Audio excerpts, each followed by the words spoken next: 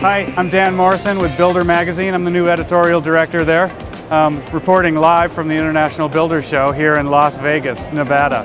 I've been walking around the floor quite a bit today looking at various products, and I saw two things that really stand out to me today. Both of them have to do with exterior finishes. Um, the first one is a stucco alternative.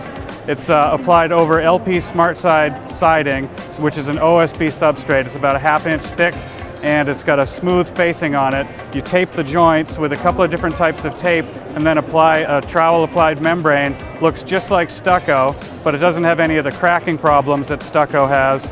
Doesn't have any of the denting problems. It seems like a, a durable solution to stucco siding, which is real popular regionally, but actually moving out in different parts of the country. Um, the other kind of cool thing about it is that it's more work for drywall people who uh, already are pretty good at installing trowel applied finishes. So that seemed like a good opportunity um, for builders that are looking to give their customers the stucco uh, without any of the callback headaches of cracks and mold and stuff like that.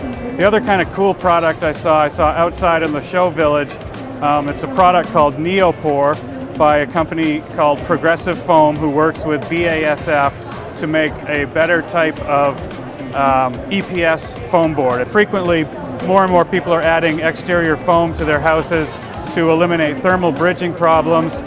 But when you do that, one of the problems is it's frequently a good idea to back ventilate your siding so that the paint lasts longer and you get less problems with uh, moisture intrusion.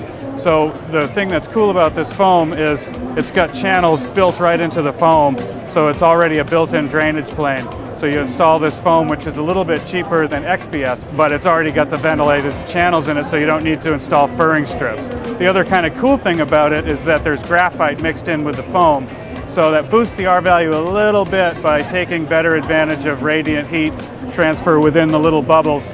Probably not going to be that much, but the great uh, benefit is in, on a sunny day, you know, if anyone's that, that's been on a job site a, on a sunny day where there's, you know, white uh, foam on the outside or white house wrap will know how hard it is on their eyes. This grayish sort of colored foam is a lot easier on the eyes and it's going to be a lot easier on, uh, on builders installing exterior foam. So those are the two cool things I saw today, exterior stuff. Tomorrow we'll take a look at some interior stuff and um, we'll get back to you as soon as we can. Right now, I've got another appointment.